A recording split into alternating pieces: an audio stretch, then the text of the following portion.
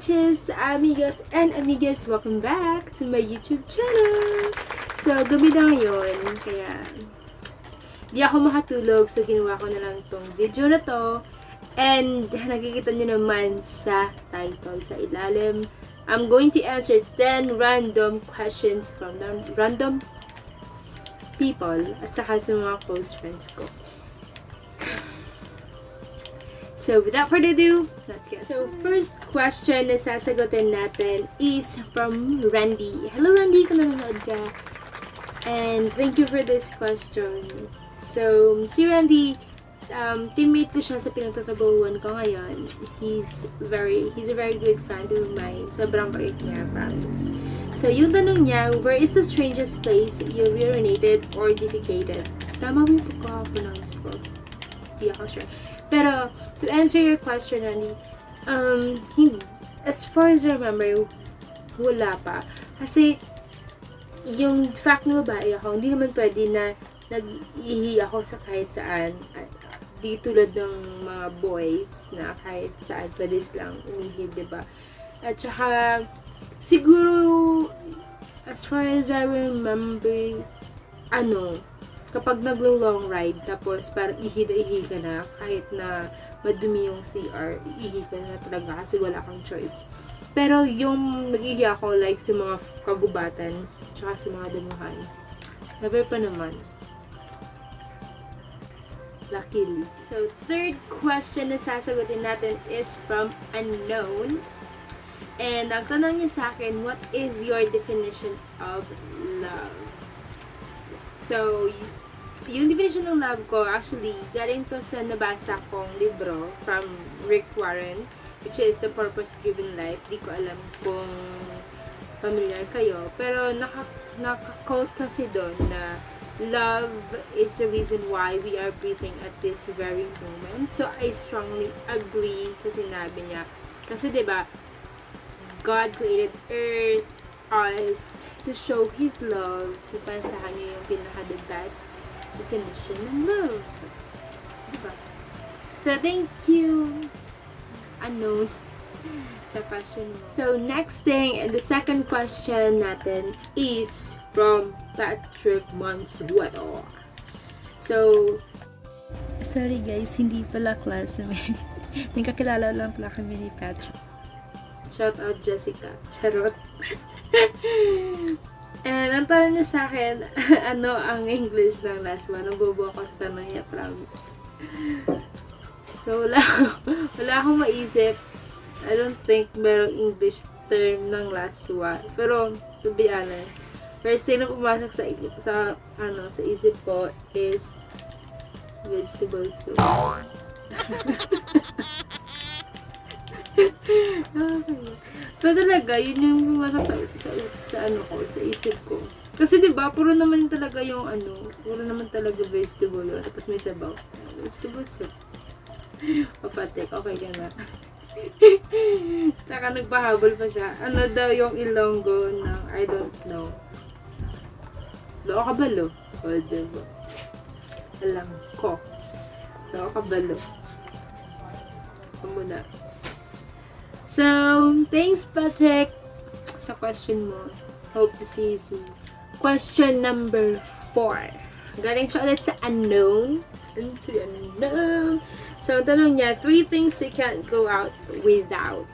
So, first is pera.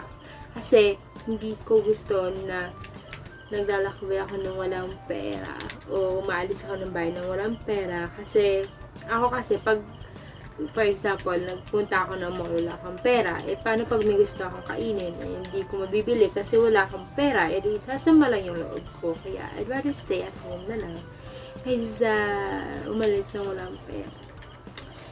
Second is yung phone for emergency purposes. Siyempre, pag may nangyari sa akin, masama, sana wala naman, makonta ko yung mga, yung parents ko, di ba? And yung third is this necklace.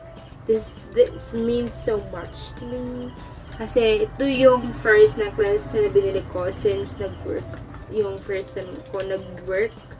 And di ko alam, parang na-attach na sa akin. Kasi, ilang beses, ilang beses na ito nawala sa akin.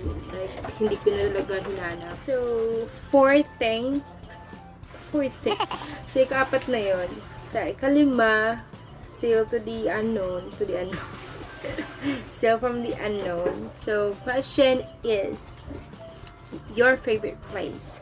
So, actually, my favorite place, anywhere. Basta may tubig, tsaka sana malapit sa dagat.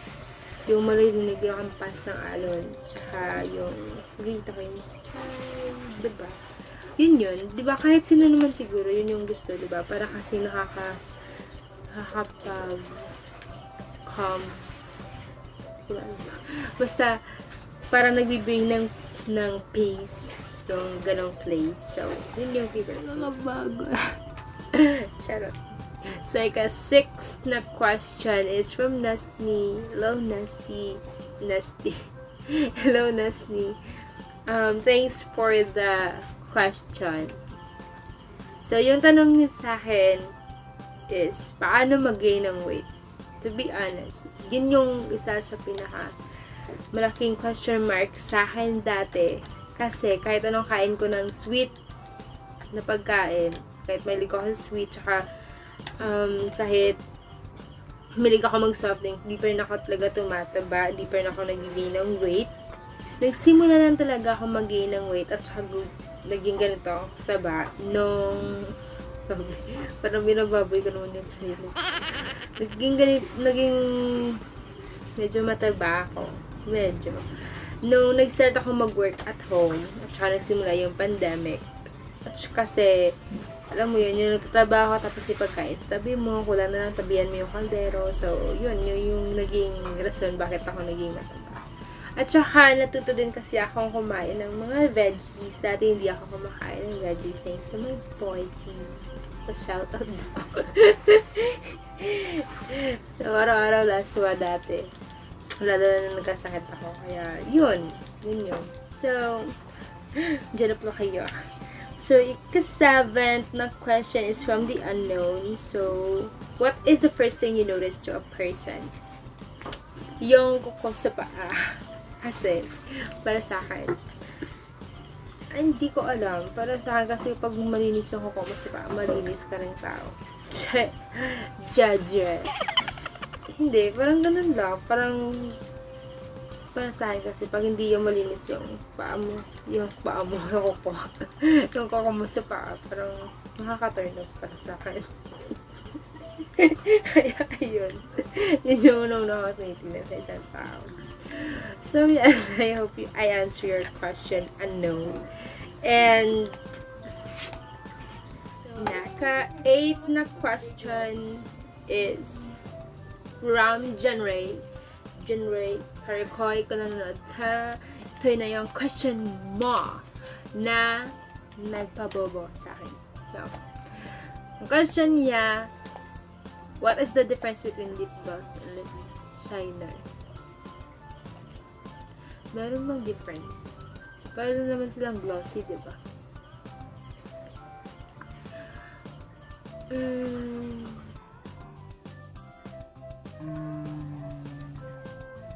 Bawal na kasi i-research. Hmm. Hmm. Hmm. Ah, alam ko na. Siyempre, may makeup tayo. Dapat alam natin. Charot. Hoy, ano ko lang to ah. Sa sariling, ano ko lang to. Pag, pag, i, pag, basta sariling, ano ko lang to. Ay, ng opinion. Yung lip gloss, yun yung may tint na glossy, hindi siya matte. Yun yun, ba diba? Pag, pag nilagay mo, may kulay na siya, tsaka glossy siya. Yung mga pinang-pinang. Tsaka yung lip shiner, plain o transparent. Diba? Nasagot ko. Transparent siya. So, parang pag may matte ka na lipstick, tapos gusto mo maging glossy siya, lagyan mo lang siya ng lip shiner. Yun. Yun yung pinagkaiba nila. Ninth question. Is it hard to be from the door? Is it hard to be a call center agent? I think no. Kasi, pag-aaralan mo din naman yan in the training, ba? Kasi pagkapasok mo sa isang call center or sa BPO industry, meron kayong mag-undergo kayo ng training, so definitely malalaman mo rin. Siguro mahirap lang yung part na mga holidays and special occasions hindi mo siya ma-attend. Nan, ganon. So, tsaka yung shift, bago-bago kasi siya. Merong night shift o tinatawag na graveyard shift. So, yun yung mahirap. Kasi habang tulog yung lahat, ikaw muna lahat para kang owl, ba diba? Yun yun, yun yung mahirap yung schedule. Pero, in the long run, masasanay ka rin naman. And next is from Angelica Magbanwa. She's my friend from since grade 11 to 12. Correct me if I'm wrong. And sobrang nagkaka-relate kami dati. So, may tanong siya sa akin, wait, So, yung tanong niya sa akin, how often kaga-gym and ano kalawig igo mo nakita ang results sa body mo? Curiosity ko di. Haha. so, first, hindi na, wala na ako ga-gym. Hindi na ako nag-gym simula na nagka-lockdown. Kasi mahirap na sa akin yung transportation, yung pabalik-balik ka kasi malayo yung bahay ko sa pinagjijiman ko dati. So, I stopped going to the gym. At nakita ko siya siguro like 4 to 6 months. Depende sa kung gaano ka ka um, gaano ka ka-determinado at saka kung gaano ka ka, ka dalas mag-gym. Tsaka kung sa kahit naman kasi sabihin kong 4 to 6 months, makikita mo yung like, konting resulta sa gym mo, eh kapag once a month ka lang pumupunta ng gym, eh, ba diba, parang wala rin, ba diba? Parang ang joke lang, ba diba? So, depende yan sa kung, ano, kung gano'ng kadalas pumunta sa gym. Ako kasi dati, ginagawa ko siya like two, twice a week. Siyang ginagawa dati. And, tsaka di naman ganun kahirap sa akin dati kasi maliit lang naman kasi ako. Di ako ganun paka bilis magin ng weight dati as I've mentioned. And tsaka yung wino-workout ko lang naman dati kasi yung shoulder tsaka yung yung waist ko tsaka yung paa ko. So most likely ginagawa ko lang nag-squat, nag-curls up ganon at tsaka yung shoulder yung parang ganon ganon. So yun yung ginagawa ko. Tsaka diet din. Diba? Honestly, kahit dati naman di ako na-diet eh. Pero, importante yun kasi magiging useless lang.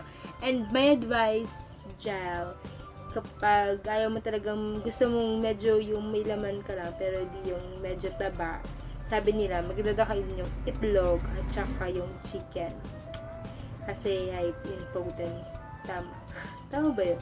Pero talaga, yun yung sinasabi nila at saka tama, yun yung palagi kong naririnig. So, yun. And last and last but not the least, from LG, um, are you happy in your current relationship? Yes, I am. Although, hindi natin naman kasi maaalis na there are times na hindi kayo nagmagkakaintindihan, there are times na parang ang labo na, at saka alam ko makaka-relate lahat na there are times that you break up and then on off on off your relationship niyo because of the differences between you and your partner.